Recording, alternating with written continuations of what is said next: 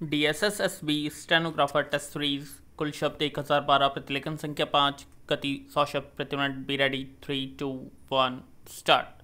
महोदय, सितंबर 2021 में एम बी बी एस छात्रों का प्रवेश भारी रकम लेकर यह कहकर दिया गया कि आपको यहीं से पूर्ण शिक्षा देकर एम बी बी एस की डिग्री दी जाएगी, जो कि भारतीय चिकित्सा परिषद में नामांकित होकर परीक्षा देने हेतु मान्य होगी। लेकिन सितंबर 2001 से वर्ष 2004 तक की शिक्षा गुंटूर में कराने के बाद आगे की पढ़ाई हेतु छात्रों को दो वर्ष की शिक्षा के लिए तंजानिया भेज दिया गया विराम।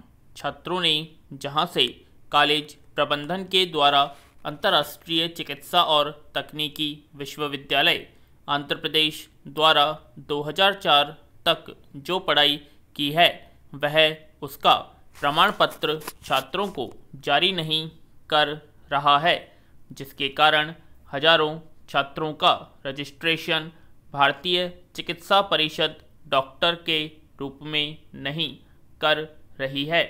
इस वजह से भी सभी छात्रों का भविष्य अंधकारमय हो गया है। यह भी संज्ञान में आया है कि उपरोक्त संस्थान अपने लाभ के लिए गुंटूर के अंतर्राष्ट्रीय चिकित्सा और तकनीकी विश्वविद्यालय का नाम बदलकर कस्तूरी मेडिकल कॉलेज करा करके नए नाम से रजिस्ट्रेशन करा रही है पैरा महोदय।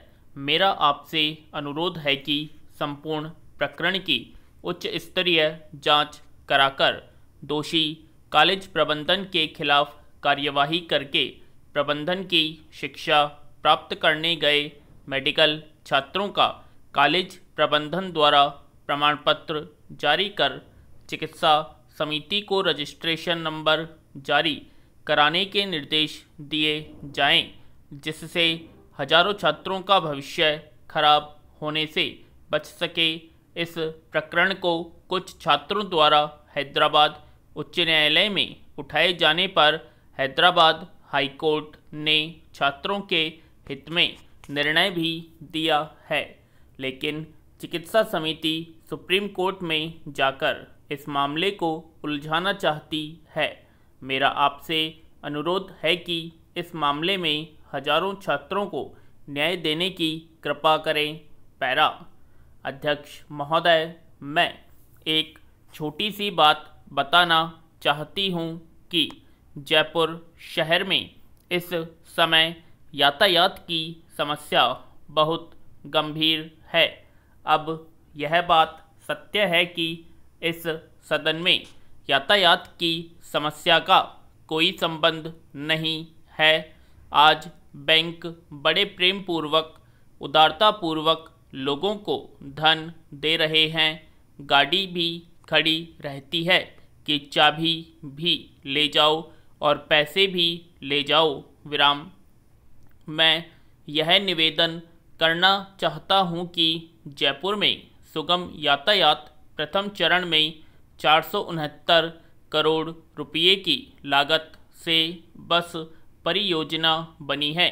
जवाहरलाल नेहरू पुनर्निर्माण मिशन के तहत यह योजना के आधार पर क्रियान्वित की जाएगी।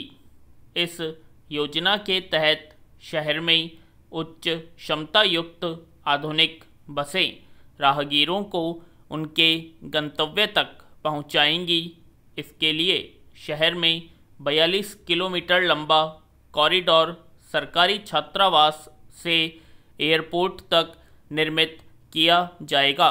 मेरी केंद्र सरकार से मांग है कि यह योजना उनसे संबंधित है। राज्य सरकार ट्रैफ़िक को नियंत्रण करने के नाते प्रयास तो कर रही है, लेकिन मेरी केंद्र सरकार से प्रार्थना भी है कि यह परियोजना जो जवाहरलाल नेहरू जी के नाम पर बनाई गई है, उसको कार्यान्वित करने के लिए भारत सरकार भी कुछ रकम दे तो यह योजना जल्दी सफल हो सकेगी। विराम। जयपुर में ट्रैफ़िक की समस्या, जो गंभीर रूप धारण कर रही है, उस समस्या का भी समाधान हो सकेगा। आपने मुझे बोलने का समय दिया। इसके लिए बहुत बहुत धन्यवाद, पैरा महोदय। बाकी सदस्यों के लिए दस मिनट का समय था और उन्होंने चालीस मिनट का समय लिया है। पुलिस को आधुनिकीकरण करने का कार्यक्रम वर्ष उन्नीस सौ से चल रहा है। यह सही है कि आधुनिकीकरण एक बार में हो जाने वाली प्रक्रिया नहीं है। 25 सालों से चल रही प्रक्रिया है, लेकिन मैं यह भी मानता हूँ कि कई ऐसे राज्य हैं जिन्होंने पूरी तरह से अपनी पुलिस को आधुनिक किया है। आप एक भी ऐसा राज्य दिखा दीजिए जहाँ के लोग कह सकें कि पुलिस ही हमारी मित्र है। पुलिस के पास काफ़ी विश्वास के साथ जा सकते हैं, इसलिए आधुनिकीकरण का कार्यक्रम तभी सफल होगा जब इस तरह के बदलाव पुलिस के दिल में आएँगे। पुलिस में कांस्टेबल की भर्ती प्रशिक्षण की तरफ़ ध्यान देने की आवश्यकता है और इसके साथ पुलिस की वर्तमान दशा दिशा की तरफ़ ध्यान देने की भी आवश्यकता है। हम सब चीज़ों के लिए पुलिस से अपेक्षा करते हैं और पुलिस में खास तौर से सिपाही वाहन चालक और चपरासी ही गोलियाँ झेलते हैं, लेकिन आज उनके रहने की व्यवस्था नहीं है। उनके परिवार के लिए सुरक्षा नहीं है, इसलिए इस ओर भी ध्यान देने की आवश्यकता है। पैरा अध्यक्ष महोदय, मैं आपके माध्यम से कहना चाहता हूँ कि भारत में आतंकवाद से लड़ने के लिए कब हम राजनीति से ऊपर उठकर काम करेंगे? क्या हम यह सोचना चाहते हैं कि अगर हम आतंकवाद के खिलाफ बोलते हैं तो इससे कोई नाराज़ होगा? हम आतंकवाद के खिलाफ बोलेंगे तो सिर्फ़ पाकिस्तान नाराज़ होगा। यदि आप आतंकवाद के खिलाफ लड़ेंगे तो हिंदुस्तान से मोहब्बत करने वाला कोई भी व्यक्ति, चाहे उसकी पूजा पद्धति कोई भी हो, कोई नाराज़ होने वाला नहीं है। लेकिन आपको लगता है कि अगर आतंकवाद के खिलाफ आप बोलेंगे या कुछ कार्यवाही करेंगे तो उससे कोई नाराज़ होने वाला है। मैं आपके माध्यम से सरकार से अनुरोध करना चाहता हूँ कि वह कश्मीर पर राजनीति बंद करे। कश्मीर में किसकी सरकार आए?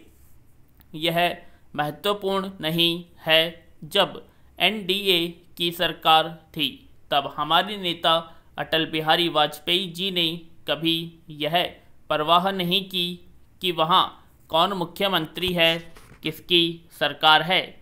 हम लोग कश्मीर की सरकार को किसी पार्टी की सरकार के तौर पर नहीं देखते हैं। वह भारत की प्रतिनिधि हैं।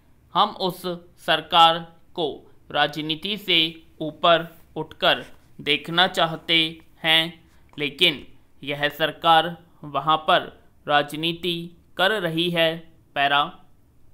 महोदय, मैं आपके माध्यम से गृह मंत्री जी से कहना चाहता हूँ कि कश्मीर के मामले में नरम नीति पर चलने वाली जो आपकी सरकार है, इसको जनता कभी माफ़ नहीं करेगी। इसलिए आप और ज़्यादा सख्ती अपनाएँ। गृह मंत्री जी से मुझे पूरी अपेक्षा है। गृह मंत्री जी देश के प्रति सामान्य छवि रखे, लेकिन आतंकवादियों में इनके नाम से डर होना चाहिए। आतंकवादियों के मन में उनके नाम से आतंक पैदा होना चाहिए। यह संदेश नहीं जाना चाहिए कि कांग्रेस की सरकार सरल कानून बनाकर आतंकवादियों का मनोबल बढ़ा रही है। विराम। जब मैं बात करता हूँ तो मुझे लगता है कि आतंकवाद के विषय पर पूरा संवाद एक होगा। पूर्ण विराम।